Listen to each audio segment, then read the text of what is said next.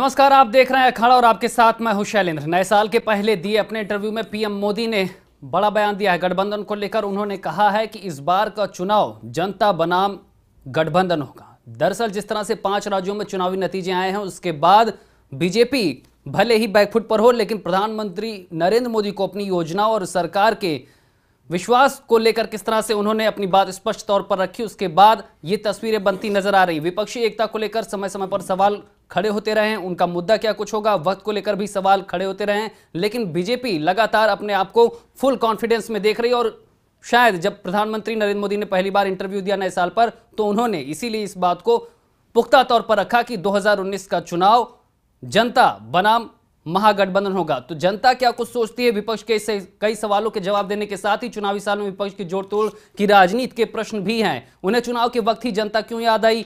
वो खुद को बचाने का सहारा खोज रहे इस तरह की बातें भी प्रधानमंत्री नरेंद्र मोदी ने की है। लेकिन सवाल यही है कि बीजेपी कुछ भी सोचती हो, लेकिन क्या जनता वास्तव में सोचती है कि 2019 का जो चुनाव होगा, वो जनता बनाम गठबंधन होगा?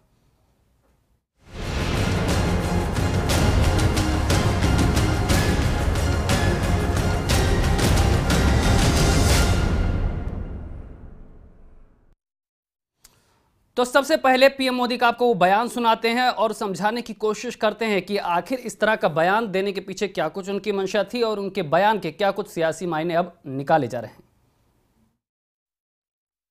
राज्य को लूटने वाले भी आ रहे हैं और केंद्र को भी लूटने आ रहे हैं। तो देश की जनता तय करेगी कि ये सब लूटने वालों की ताकत इकट्ठी हो रही है, उसके साथ जुड़ना है कि नहीं जुड़ना है।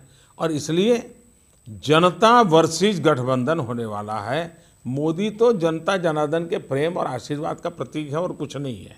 पाँच साल हो गए महागठबंधन ने देश के सामाजिक, आर्थिक विषयों को लेकर के कुछ सोचा हो, कुछ कहा हो। एक स्वर से कहा हो, ऐसा हुआ है क्या? नहीं हुआ है। अभी भी उनके यहाँ से दो दो स्वर निकलते हैं भिन्न भिन्न स्वर निकलते हैं। और आखिरकार ये हो लोग हो गए हैं? ये खुद के बचाने के लिए मैदान में सहारा ढूंढ रहे हैं। एक दूसरे को भाई हाथ पकड़ो, बच जाएँगे। तो ये खेल चल रहा है। उनका इरादा एकमात्र मोदी है।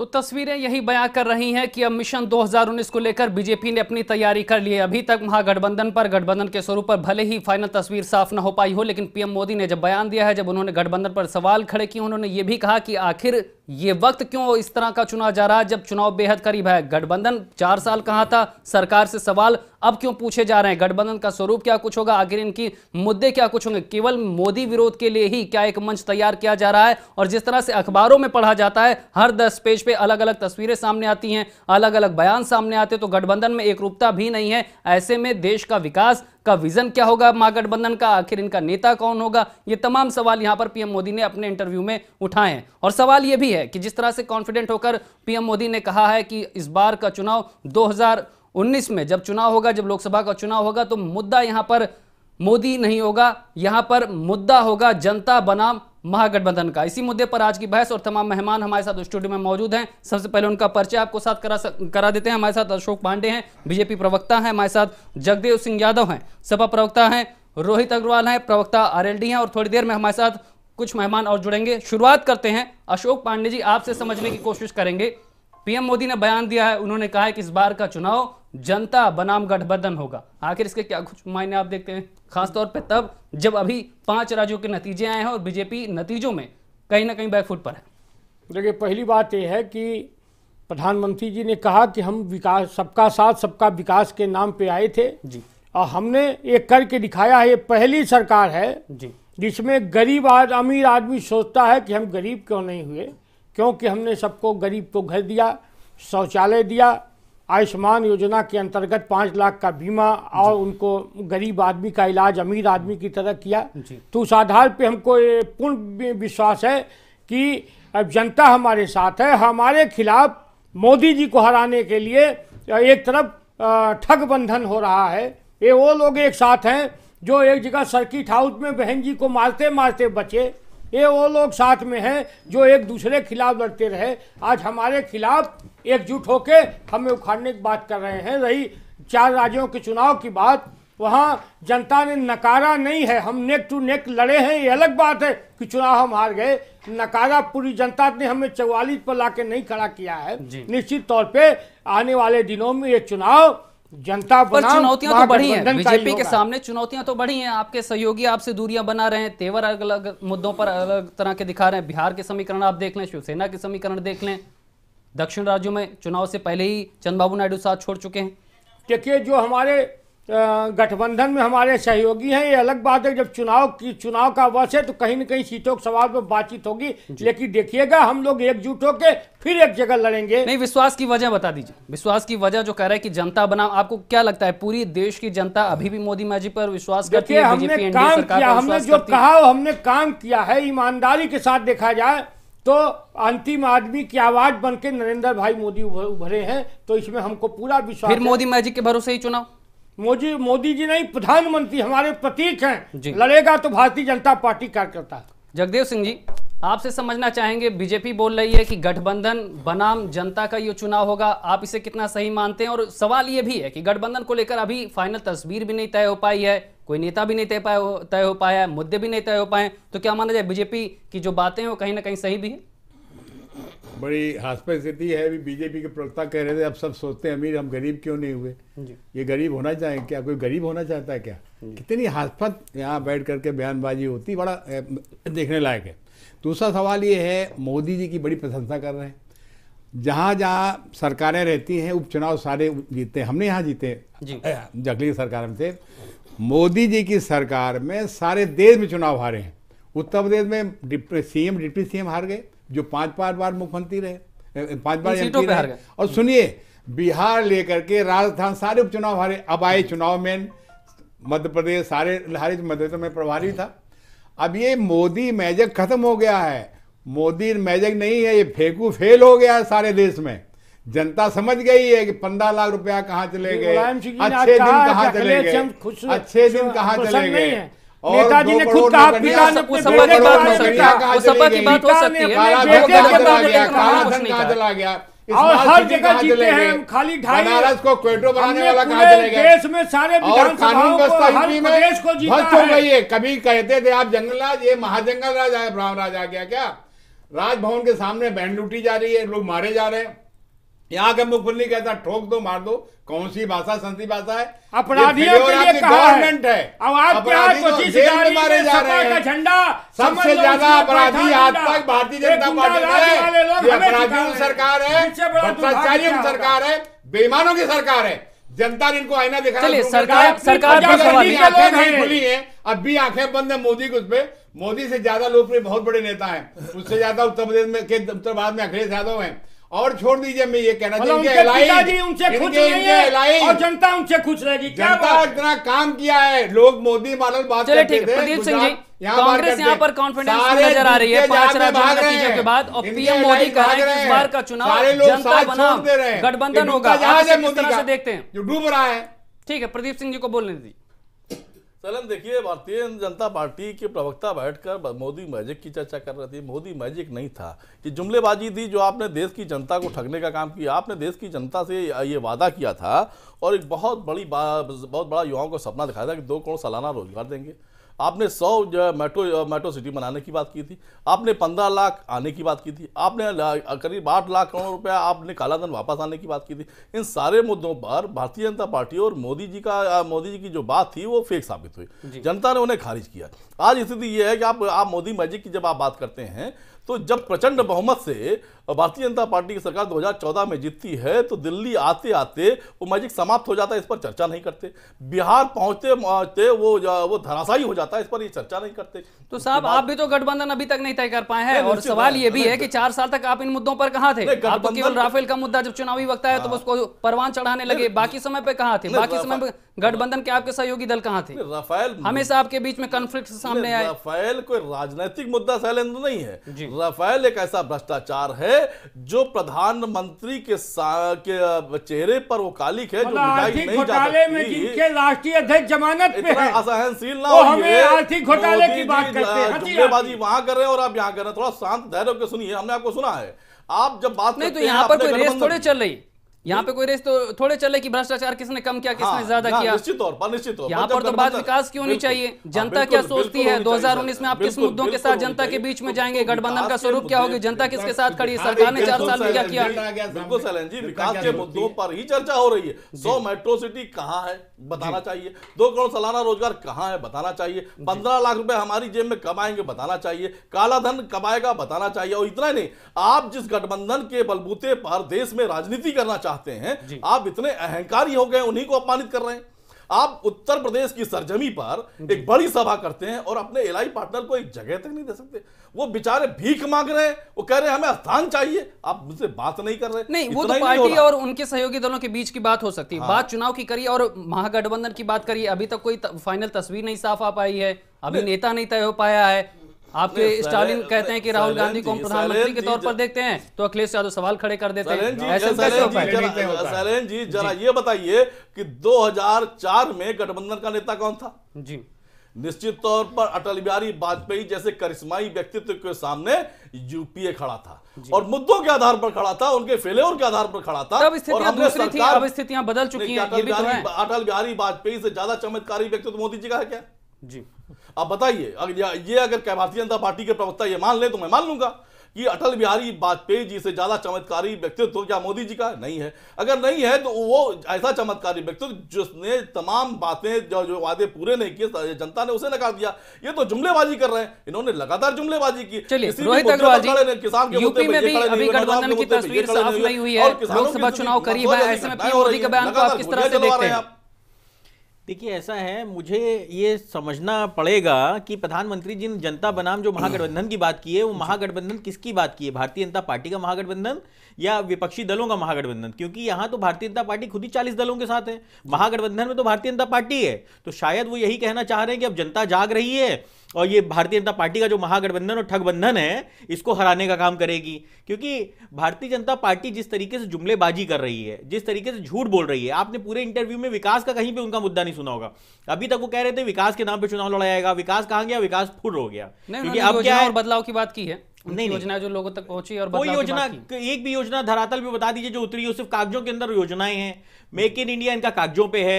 मेक इन इंडिया के नाम पे साहब अ, राफेल में ये बता रहे हैं। साहब आप तो गठबंधन पे बात करिए ना। वो जो वो जो सवाल कर रहे हैं आपने सुना अभी थोड़ी देर पहले सब्र वो जो रखिए, हैं सब्र रखिए। गठबंधन अभी तक कहाँ था? चुनाव के समय आते ही सब एकजुट होने मोदी लगे। जी को इतनी मुद्दा जल्दी भी तय नहीं है? नेता यहाँ पर तय चुनाव नहीं है। जनता के बीच क्या लेकर जाएँगे? हम कोई हम कोई खाली चुनाव लड़ने के लिए देश में थोड़ी ना है। हम समाज सेवा करने के लिए हैं। जब चुनाव आएगा तब आपको गठबंधन का स्वरूप बताया जाएगा। हम मोदी जी की तरह थोड़ी ना है कि खाली बस झोला उठाया और चुनाव लड़ने चल दिए। जिस भी प्रदेश में चुनाव होता है उस दिन उस प्रदेश में झोला उठा के वो चल देते हैं चुनाव लड़ने के लिए। जो हम हम लोग की पार्टियाँ हैं वो कहीं ना कहीं जनता की सेवा के लिए है। जब उचित वक्त आएगा तो आपको महागठबंधन का स्वरूप बता दिया जाएगा। इतनी जल्दी क्या है? अपनी चिंता करें अपने अलायंसेस की चिंता करें। राजभर इनको पानी पी पी के कोस रहे हैं कि इन्होंने जनता के लिए ज- जनता को ठग लिया है इन्होंने। उसका जवाब कब देंगे मोदी जी? अनुप्रिया पटेल इनकी सभाओं में नहीं जा रही हैं। इनको रिसीव करने तक एयरपोर्ट पे नहीं जाती हैं। उसका जवाब कब। देंगे? चिंताएँ दोनों तरफ़ हैं। ओपी यादव जी आपसे समझना चाहेंगे पीएम मोदी के इस बयान को आप किस तरह से देखते हैं? चार साल के कामकाज का एक कॉन्फिडेंस है। जनता में उनको भरोसा है जो इस तरह की बातें कर पीएम मोदी हैं कि 2019 का चुनाव जनता बनाम गठबंधन होगा। देखिए कहीं ना कहीं प्रधानमंत्री ने आप चार साढ़े चार साल में देखिए मन की बात लगातार वो कम करते रहे हैं। और जो उन्होंने अब कल जो इंटरव्यू में एएनआई को उन्होंने दिया है मन की बात उन्होंने कही है तो निश्चित तौर पर जो महागठबंधन देश में आकार ले रहा है देश में कहीं ना कहीं प्रधानमंत्री को सलवटे और चिंताओं का आलम नज़र आ रहा। एक निश्चित तौर पर एक बात नज़र आई, क्योंकि जनता बनाम, वो जनता के प्रतिनिधि बनने की बात किया है उन्होंने। जनता बनाम गठबंधन की उन्होंने बात किया है। लेकिन जो देश के बेसिक मुद्दे हैं, जवानी, पानी, किसानी, वो पूरी तरह संकट में है। और जिस तरह तीन राज्यों का नतीजा आया है कहीं ना कहीं सत्ता विरोधी रुझान पंद्रह सालों से लगातार सत्ता में थी भारतीय जनता पार्टी। लेकिन मुद्दों को लेकर के मैं ये मानता हूँ कि बहुत आ, क्योंकि भारतीय जनता पार्टी का पोल मैनेजमेंट गठबंधन के पार्टियों के बनस्बत ज़्यादा अच्छा है। इसलिए और आरएसएस का जो स्ट्रॉन्ग होल्ड है मध्य प्रदेश छत्तीसगढ़ राजस्थान में तीसरी ताकत की अवधारणा बहुत ज़्यादा नहीं रही है। तो जो मध्य प्रदेश छत्तीसगढ़ राजस्थान में बहुत टफ फाइट किया है बीजेपी ने पोल मैनेजमेंट के बदौल- बदौलत माइक्रो पोल मैनेजमेंट नहीं इन नतीजों के बाद भी इस तरह की बातें ये किस तरह का संकेत देती है? खासतौर से बीजेपी के लिहाज से। देखिए प्रधानमंत्री ने अपने इंटरव्यू में अयोध्या मुद्दे का ज़िक्र किया तीन तलाक का ज़िक्र किया जीएसटी का ज़िक्र किया सर्जिकल स्ट्राइक का सारे मुद्दों पर उन्होंने अपनी उपलब्धियाँ गिना उपलब्धियाँ गिनाई या चुप्पी तोड़ी। आप देखिए कि उन्होंने कोर्ट की बात किया कि उसके ऊपर अध्यादेश ऑडियंस बाद में लाया जा सकता है। उस लगातार उन्होंने एक के बाद एक सर्जिकल स्ट्राइक पर आए सारी चीज़ें उन्होंने अपनी क्लियर की। लेकिन कहीं ना कहीं जो देश के सबसे बड़- बड़े राज्य हिंदी हार्टलैंड में जैसे जनता बनाम वो जनता के प्रतिनिधि बनते नज़र आए। जनता बनाम गठबंधन तो जो जाट जाटो मुस्लिम यादव कॉम्बिनेशन खड़ा हो रहा है। राष्ट्रीय लोक दल और एसपी बीएसपी के अलायंस उत्तर प्रदेश में खड़ा हो रहा है। देश के सबसे बड़े राज्य में कहीं ना कहीं बेचैनी ज़रूर है। और जो पूरा चौबीस दलों का शरद यादव जी काम कर रहे हैं शरद पवार साहब चंद्रबाबू नायडू साहब तो कहीं ना कहीं बाईस चौबीस दलों का जो ग्रैंड अलायंस देश में बनता नज़र आ रहा है। बेचैनी ज़रूर है उसमें कोई दो राय नहीं है। ये भी एक निकल करके आ रहा है। नहीं कई सवाल भी खड़े किए उन्होंने वक्त को लेकर सवाल खड़े किए मनसा को लेकर सवाल खड़े किए स्वरूप को लेकर सवाल खड़े किए। देखिए भारतीय राजनीति उन्नीस की तरफ़ बढ़ेगी कि 2004 की तरफ़ बढ़ेगी ये तो भविष्य के गर्भ में चार महीने बाद पता चलेगा कि फेडरल फ्रंट तैयार होगा कि 2004 तैयार होगा कि छियानवे की तरह देवगौड़ा और गुजरात साहब सब सबकी राजनीतिक महत्वाकांक्षाएँ हैं।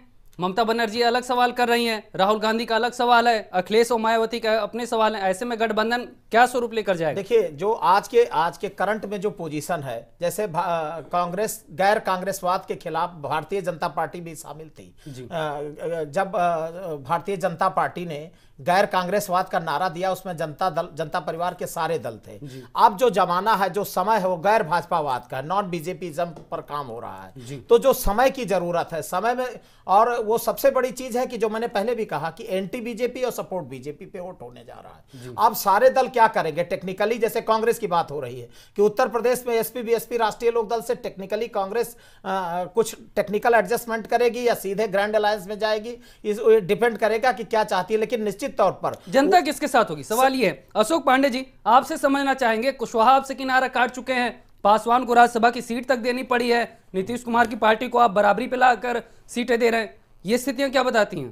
देखिए जब समझौता हुआ है तो कहीं न कहीं से समझौते में नहीं तो अगर आप मज़बूत स्थिति होता हैं आप ड्राइविंग सीट पे हैं तो फिर इस तरह के समझौते क्यों? और देखिएगा वो समझौता जारी रहेगा हम मिल के ही चुनाव लड़ेंगे। मजबूरी है समझौता? मजबूरी नहीं हम साथ साथ चुनाव तो लड़ेंगे मजबूती है तो फिर बराबरी पे क्यों? आपने ज़्यादा सीटें हासिल की देखिए हैं। समझौता हमने किया। हम इस तरह का समझौता नहीं है तो छोटा भाई आपको आँखें क्यों दिखा रहा है? बहन जी को मारते यहाँ पे मारते सवाल क्यों खड़े कर रहे हैं? में बचने वाले लोग एक जगह खड़े हैं। अजीत सिंह जी पता नहीं कल कहाँ रहेंगे उनका तो भाई सब कुछ आप ही को पता है। आपको पता नहीं राजभर जी कहाँ रहेंगे इसका जवाब दे दीजिए। सब राजभर जी कहाँ रहेंगे इसका जवाब दे दीजिए। बता ही तो दीजिए हम बताने आपकी लगे, जब बात हो रही है तो आप अपने कॉन्फिडेंस की बात करिए ना? आपके कॉन्फिडेंस की वजह क्या है। उनके सवाल तो वो सुलझा लेंगे। है। हैं। सवाल भी हम सुलझा लेंगे। हमारे देश की जनता नहीं याद है आपको? हमारे देश की जनता के ऊपर किस तरीके से अत्याचार हो रहा है भाजपा के राज में। हमारे बुलंदशहर के अंदर इंस्पेक्टर मार दिया था वो आपको नहीं याद है? आपको खाली बस किस तरीके से महागठबंधन टूट जाए वो आपको दिखाई पड़ रहा है। महागठबंधन खुद है। कांग्रेस अछूत को अछूत अरे चालीस चालीस लोगों को साथ लेके चलने वाले लोग महागठबंधन की बात करते हैं। तो चालीस दलों के बिना लड़के दिखाइए मिल तब के बात चुनाव करिएगा लड़ें। हम मिल के क्या चुनाव लड़ेंगे? जब जहाँ पे आपकी तेईस सीटें हैं वहाँ पे सत्रह सीटों नहीं आप तो पहले अशोक जी आप पहले आपने तो बिहार खुद ही मान ली अगर प्रधानमंत्री ऐसा कर रहे हैं कि जनता वर्सेस गठबंधन होगी तो इसके पैमाने क्या है? उनको क्यों लगता है कि जनता बीजेपी के साथ खड़ी हुई है? बात हमने जो पाँच राज्यों के नतीजे आप देख लीजिए उपचुनाव के नतीजे देख लीजिए जम्मू कश्मीर के हालात देख लीजिए सहयोगी आपसे दूरी बना रहे हैं। लेकिन हर 2014 से लगभग 2019 आते लगभग आते इस देश के कितनी सारे आपकी पार्टी प्रदेशों डिरेल हो को चुकी है हमने मुद्दों से? चुनाव जीता है। ये भी तो जहाँ पे देखो, 15 साल से देखो, भाजपा चुनाव हार के आ रहे हैं। बता रहे हैं चुनाव जीता है। अरे और कैसे हारोगे? और कैसे हारोगे? अटल बिहारी वाजपेयी की सरकार एक वोट से गिरी थी एक वोट से गिरी प्रधानमंत्री। आईना देखा शुरुआत हो गई सारे देश में। अभी भी नहीं आ रहे इतना हार के बाद हार जनमत को नहीं स्वीकार करने को तैयार अच्छा, है। अशोक जी आप ये बता दीजिए अगर चार साल आपने इतना बेहतर काम किया था जनता आपके साथ खड़ी हुई थी तो ये हार क्यों मिली फिर देखिये जो चुनाव पंद्रह साल हमारी सरकार थी कहीं भी कहीं एंटी एम्बेसी का मामला भी था। क्यों हार गए? और यूपी में हार गए आप देखिए चुनाव हम हर प्रदेश क्यों जीत गए? इस पर तो चर्चा नहीं हो रही है। हम चार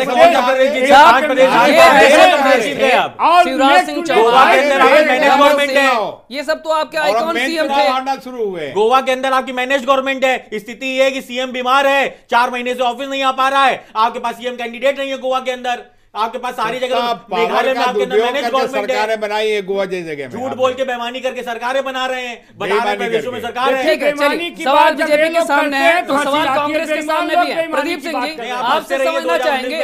अभी आपको रुलाएगी ठीक है ठीक है। साथ क्यों साथ चलिए कांग्रेस से सवाल कर दीजिए। प्रदीप सिंह जी आपसे समझना चाहेंगे। अभी तो मंच ही नहीं तैयार हो पा रहा कि मंच में कौन आगे आएगा। कभी कांग्रेस की तरफ़ से कोई पहल करता है कभी चंद्रबाबू नायडू पहल करते हैं कभी ममता बनर्जी करती है। आखिर गठबंधन का स्वरूप ही नहीं तय कैसे भी मुकाबला करेंगे 2019 में। चलन गठबंधन का स्वरूप तय होता है एक कॉमन मिनिमम प्रोग्राम के बाद। क्या है कॉमन ये तो बता रहे कि केवल मोदी का विरोध ही है आपका मुद्दा बस। मोदी का विरोध नहीं। मोदी की नीतियों का विरोध है उनके अहंकार का विरोध है उनके तो ये विरोध पहले क्यों नहीं था? यही सवाल तो पीएम मोदी भी खड़े कर रहे हैं। वो कि अब जब चुनाव का वक्त आ रहा है तब आप एक मंच पर आ रहे हैं। आपने देश के नौजवानों से एक बड़ी जुमलेबाजी की थी। आपने कहा था कि हम दो तो आपने कौन से मुद्दे उठा दिए नौजवानों के? कौन सा प्रदर्शन आपने कर दिया? तो प्रदर्शन करते हिंदुस्तान में नौजवानों की लड़ाई कांग्रेस पार्टी ने लड़ी किसानों की लड़ाई कांग्रेस पार्टी ने लड़ी। माफ़ी करके? नहीं हम सड़क सड़कों पर थे। आप शैलेंद्र आप थोड़ा ध्यान दीजिए। आज कांग्रेस पार्टी सड़कों पर सड़कों पे नहीं थे सड़क पर किसान थे आपने उनके साथ में भारतीय जनता पार्टी की सरकार गोलियाँ चला रही थी तो माननीय श्री राहुल गांधी जी किसानों के साथ खड़े थे और विपक्ष की अधिकतर पार्टियाँ किसानों के साथ खड़ी थी। हम हिसाब चाहते थे हम चाहते थे कि आप गोलियाँ नहीं उनकी आवाज़ सुनिए। आप देखिए उत्तर भारत से लेकर दक्षिण भारत तक और पूरब से लेकर सड़कों पर किसान निकला। मदद की थी आपने कही थी मदद की थी आपके। कांग्रेस के साथ कौन खड़ा है? किसानों के साथ कौन खड़ा है? इन मुद्दों के खिलाफ थे। आज बहुत बड़ा मुद्दा जो भारतीय जनता पार्टी का कि रामलला हम आएँगे मंदिर वहीं बनाएँगे तारीख नहीं बताएँगे। आज तो कह दिया ना कि हम मंदिर भी नहीं बनाएँगे। जो। ये बात तो लगातार लोग कह रहे थे। दो हज़ार चौदह के मैनिफेस्टो को मानने वाले और यही हम कह रहे थे पुरुषोत्तम राम भारतीय जनता पार्टी राजनीति करती है और सीता जी की बात आप करेंगे? आपके के ये सुप्रीम कोर्ट में हलफनामा दे आए हैं कि राम सीता थे मंदिर मुद्दा कौन है? कई केजरीवाल लाता है बीजेपी क्यों लाते हैं? मंदिर के ठेकेदार हैं क्या? ठेकेदार हैं क्या? आप क्यों मंदिर करते हैं? तो आस्था थी। उनकी आस्था के साथ आप क्यों बड़ा करते हैं? आप मुद्दे क्यों लड़ते हैं। आप विकास के क्यों लड़ते हैं माता सीता का पैदा बेमानी है। बताएँगे? और अब तो विकास तो गई। सुप्रीम कोर्ट का हालत है। यही नहीं। यही लोग हैं। देखिए राम सीता का अस्तित्व निकाला है? अपने पहन के घूम रहे हैं। तरीका बताया है सरकार है। इससे शर्मनाक बात कुछ हो सकती है। हम विकास के नाम आए विकास के नाम पर फिर आए। भाषा बोलते हैं हनुमान जी की जाति पर अशोक जी जब चुनाव रैलियों की बात होती है तब तो विकास की बात नहीं होती तब तो पर्सनल अटैक्स होने लगते हैं। तब आप राम हनुमान मैदान में आ जाते हैं जातिगत समीकरण सामने आ जाते हैं। क्या यही भरोसा है? किसी भरोसे के जनता आपके साथ विकास की बात कर रहे हैं प्रधानमंत्री ने कल अपने बयान में विकास की बात नहीं की। प्रधानमंत्री डरते हैं विकास की बात करने से ये क्या विकास की बात करेंगे? इन्होंने तो कुछ किया नहीं।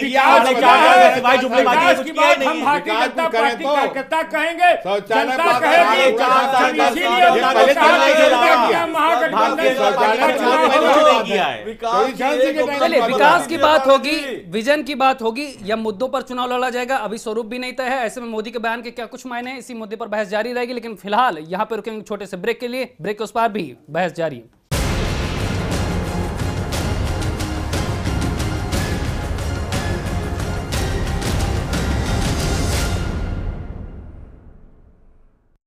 साल के पहले दिन ने ही विपक्षी एकता पर कई सवाल खड़े कर दिए हैं। जब पीएम मोदी ने अपने बयान में कहा कि चुनाव इस बार 2019 में जनता बनाम गठबंधन होंगे। और सवाल ये भी है कि विपक्षी एकता का स्वरूप क्या होगा? कौन कौन से दल उसमें शामिल होंगे? मुद्दे क्या कुछ होंगे? स्वरूप क्या होंगे? विजन क्या होंगे? और किन चेहरों के साथ चुनाव लड़ा जाएगा? इसी मुद्दे पर बहस जारी है। रुक करेंगे।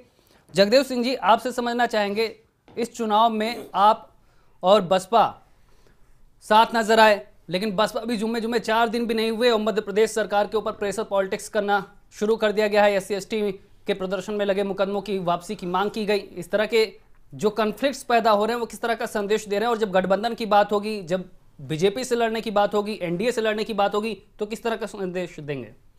देखिए जी गठबंधन सरकार के खिलाफ होता है सत्ता के खिलाफ होता है। आपको याद होगा सतहत्तर में जनता पार्टी बनी उसमें बीजेपी शामिल थी गठबंधन हुआ सफाया हुआ कांग्रेस का। फिर जनता दल के टाइम हुआ तब भी सफाया हुआ गठबंधन हुआ।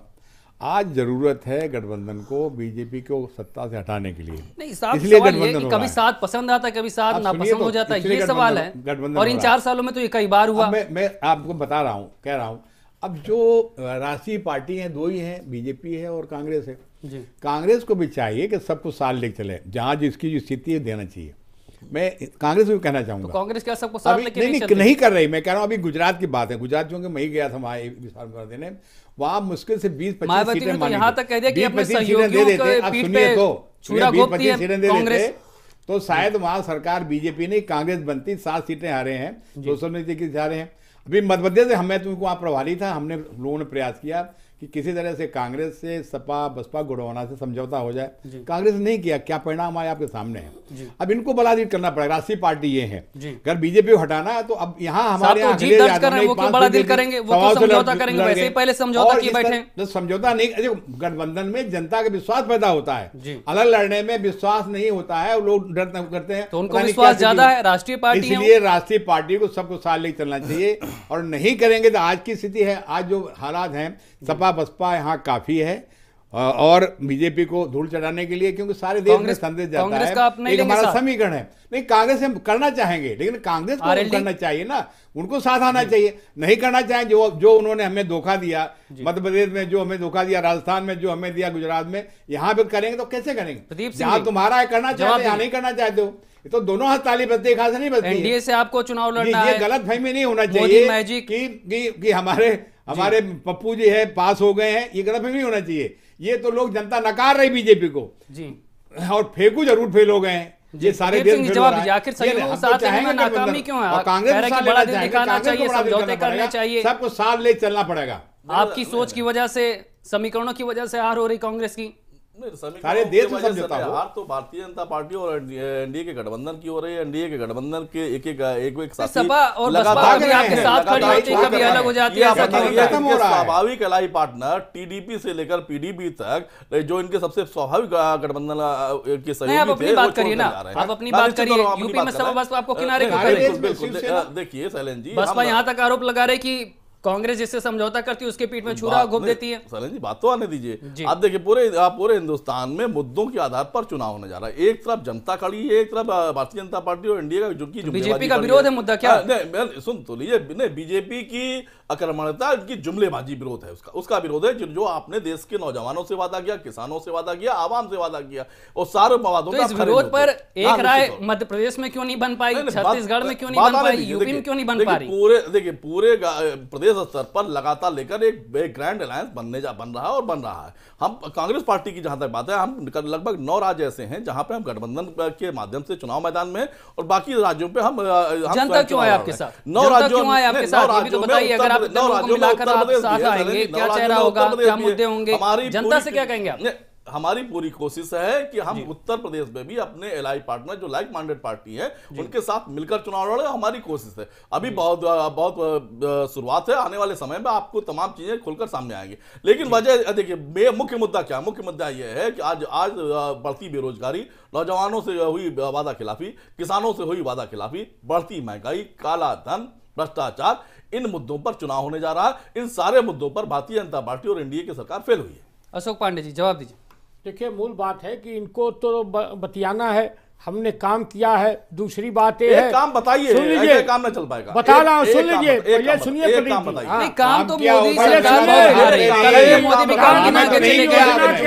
गरीबों को हमने मकान दिया है शौचालय हमने बनाया है। आयुष्मान योजना के अंतर्गत गरीब आदमी को अमीर आदमी की तरह इलाज कराने की व्यवस्था और ये लोग हर जगह भ्रष्टाचार करते हैं आपके सहयोगी क्यों बना रहे अशोक जी? गठबंधन की बात राम मंदिर के मुद्दे पर आपने क्या किया? अरे वो पार्टी है बीजेपी को लड़ा दिया जब बीजेपी के लोग पिताजी ने कहा कि हम माध्यम से। परिवार को लड़ाने का काम किया बीजेपी अरे हिंदू मुस्लिम को लड़ाती है। देश का और टिप्पणी लड़ा दिया। अब दलित अतलित महादलित पिछड़ा ये क्या फूट डालो राज करो। ये अंग्रेज़ों को तो जवाब नहीं दे पाएँगे। वो है जवाब नहीं दे पाएँगे क्या करके। इस मुद्दों पर आप कहाँ पे खड़े हैं? बताइए अशोक पांडे जी बताइए। देखिए हम हर मुद्दे पर हमने अंतिम आदमी की आवाज़ बनने का प्रयास किया है। ये लोग चिल्लाते रहे। कौन से हाँ, दो हज़ार चौदह कॉन्फिडेंस आप महसूस कर रहे हैं। दो हज़ार चौदह कॉन्फिडेंस आप दो हज़ार उन्नीस में महसूस कर रहे हैं। आप हत्या कर रहे हैं। सरकार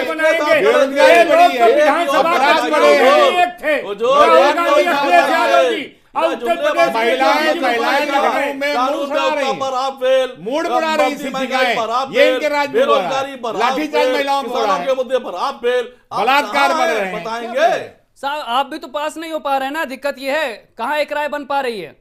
नहीं एक राह क्यों नहीं बन पा रहे जी? लगातार हाँ, उपचुनाव से लेकर के मुख्य चुनाव सीटों पर एक राय नहीं हो पा रही है। मोदी का विरोध करने के लिए मोदी का विरोध नहीं है मोदी एजेंडा नहीं है। इनका इनकी जुमलेबाजी एजेंडा है। भारतीय जनता पार्टी और एनडीए की जुमलेबाजी एजेंडा है। आपने नौजवानों से धोखा किया है आपने किसानों से धोखा किया तो आपने इन मुद्दों पर जनता के बीच में। की सत्ता के खिलाफ ये जंग है और हम अरे छियालीस दल है उसको आप क्यों नहीं बोलते हैं? ठीक है। गठबंधन नहीं है क्या? जनता सारे गठबंधन के तौर पर आप क्या कुछ समीकरण देख रहे हैं? यूपी में 2019 में और खास तौर पर तब जब पीएम मोदी ये कहते हो कि 2019 का चुनाव जनता बनाम गठबंधन है। देखिए शैलेंद्र जी मैंने अभी आपको कहा था कि भारतीय जनता पार्टी खुद एक महागठबंधन का स्वरूप है और भारतीय जनता पार्टी शक्ति हो सकती है हाँ, उसमें सवाल भी नहीं होना चाहिए। मैं करो अगर वो चालीस नहीं पचास नहीं है पचास पार्टी साथ में वो अपनी पार्टी को खुद अपनी पार्टी को नहीं संभाल पा रहे हैं। मिल रही है वो तो अपनी पार्टी को खुद नहीं संभाल पा रहे हैं कहीं भी और हर जगह पे वो कहीं ना कहीं उनकी जो सहयोगी दल है वो उनका विरोध कर रहे हैं। हर जगह खुल के सहयोगी दल इनका विरोध कर रहे हैं इनकी गलत नीतियों का विरोध कर रहे हैं। तो अगर विपक्ष इनकी गलत नीतियों का विरोध कर रहा है तो इसमें इनको मिर्ची क्यों लग रही है मुझे नहीं समझ में आता। भाई भारतीय जनता पार्टी से अगर देश देश और प्रदेश नहीं संभल रहा है तो इनको स्वतः इस्तीफा दे देना तो चाहिए। कॉन्फिडेंस में वो तो, तो कह रहे हैं कि जनता बनाम गठबंधन चुनाव। देखिए चार साल तक मोदी जी सिर्फ़ मन की बात सुनाते रहे और कल हमने जो देखा उनका इंटरव्यू किसके साथ मन की बात पार्ट टू था। आप किसके साथ देखिए हम कहीं ना कहीं जो भी हम्म। मोदी विरोधी या हम भारतीय जनता पार्टी विरोधी जो भी दल है जो भी समान विचारधारा के दल है हम उनके साथ हैं।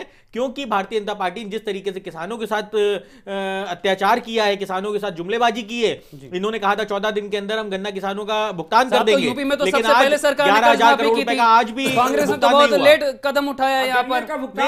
गन्ने ग्यारह हज़ार करोड़ रुपए आज भी बाकी है। कैसे आज भी ग्यारह हज़ार करोड़ तो रुपए बाकी है और गन्ना किसानों को जिस तरीके से इन्होंने धोखा दिया है इन्होंने चौदह दिन का वादा करके ये सरकार में आए इन्होंने किसानों का ऋण माफ़ी के नाम पे जिस तरीके से किसानों का धोखा दिया है उन्होंने एक साल पुराना फसली ऋण एक साल लोन दिया किसानों का भुगतान करें। पूरा बजट का जो किसानों का भुगतान करने के नहीं था।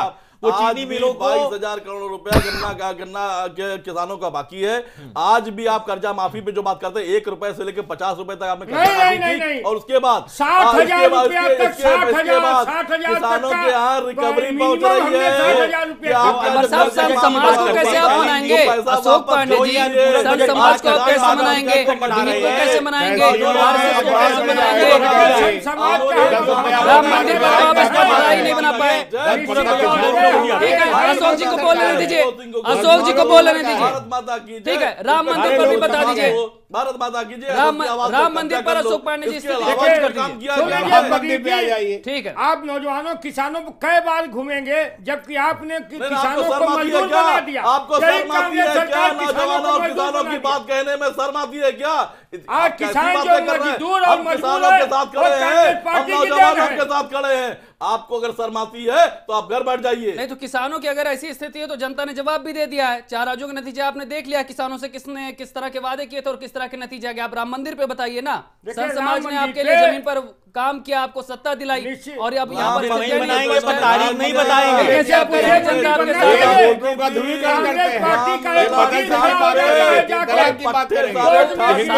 मज़बूत सरकार है। आप मज़बूत सरकार है। आप मज़बूत सरकार थोड़े हैं। हमारा राजनीतिक है। हैं, दिया बनाएँगे। है तारीख बता दीजिए जो पूछ रहे थे आपसे ये। के बात बनाएँगे।